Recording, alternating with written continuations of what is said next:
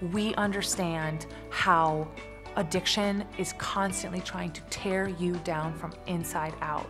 And that you may look like you're doing fine on the outside, but on the inside, you can be drowning. We get that, we see that. Because addiction will fill you with shame, with self judgment, with self hatred, with feelings of inadequacy.